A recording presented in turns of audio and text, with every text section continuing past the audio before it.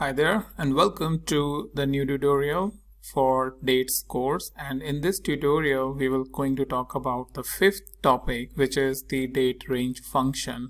So date range function is helpful in identifying the range between the two different dates and this range can be based on the day, week, month or year. So if this is something what you are looking for as a solution then this tutorial is something which we're going to explain you with the help of two different date range functions.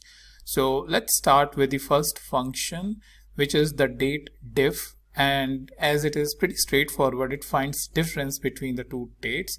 So what it takes is the date part which can be your year, month, week or day. Then you have the date 1, you have the date 2 here you can specify the start of the week which can be either Sunday, Monday or any other week based on the time or based on the weekday or weekend that that is being followed in your country.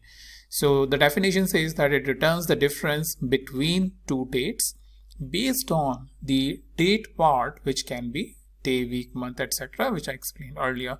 So a couple of examples to show over here. One is this so what we have specifying date part as the week.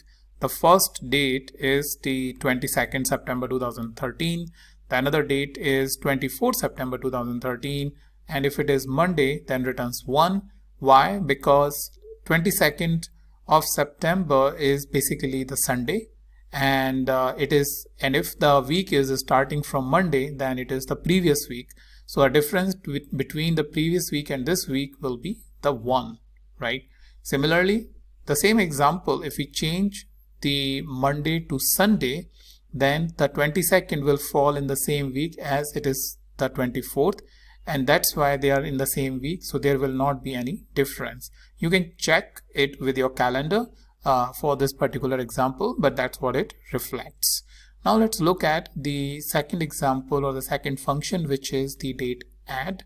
So here this is the date part which is again day, week, month or year.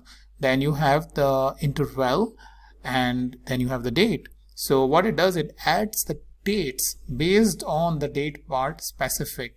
So for example, we want to add three months to this date, which is 15th April 2014.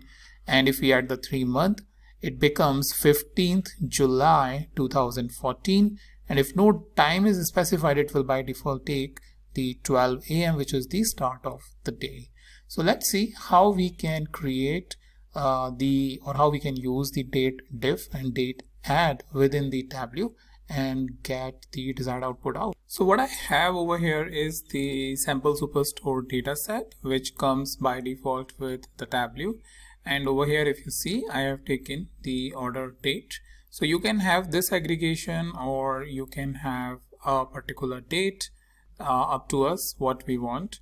So let's say I've taken this particular date and I want to create a new field which is the years or let's call it number of years.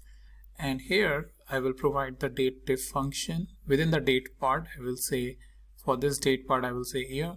And the start date will be the order date and the end date will be the today's date. So in that way it will be dynamic. By default uh, uh, we we don't have to really provide the start of the week but if we need we can even provide that. So for now I will just leave it blank and click apply and okay. And if I just bring it over here you will see that uh, for a particular date it gives issues like uh, it's not able to identify very clearly but in certain cases it gives us. So the best way to look at this information is uh, by coming it over here. And over here we we don't have to use the any aggregation or anything otherwise it will create issues. So what we need to do is we need to change it to a discrete and uh, need to change it to a dimension. And that way what you will going to get is the non-aggregation and now the value is out. So once we do, do that we can even um, go back to the previous setting which is the day. And uh, let's make it discrete. And now if you will see the information is correct for all the various dates.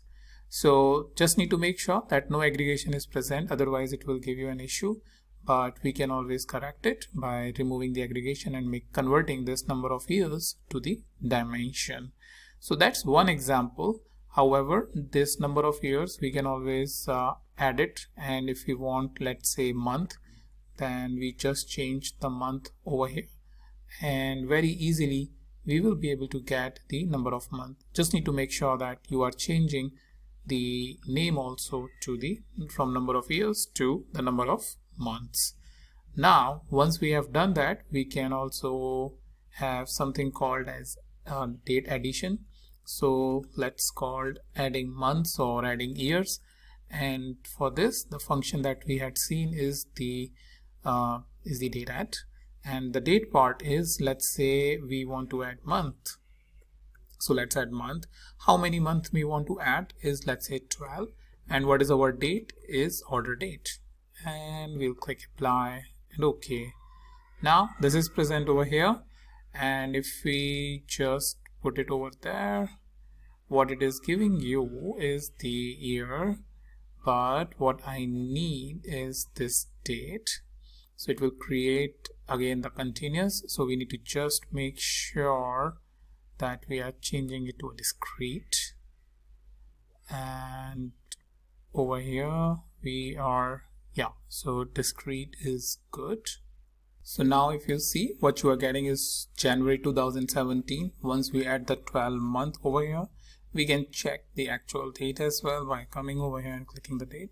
So from 3rd January 2017 we have changed to 3rd January 2000 sorry from 2016 to 2017 so like I mentioned you have various different options that can be added to the date part like the year date month even the hour and second and all of those sort of things if you want to add as part of the date part. And on the tableau help you will going to find a lot of same settings. So from here you can go to the open help or get not the get support. If you have the license you will going to get it.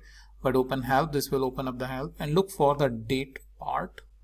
So let me quickly show you so over here if you see the date part is present which is year month day of year day you know the different date part values. And if I have to show you this is basically the link on the help.tableau.com if you just search for the dates you will going to get the the various date part values.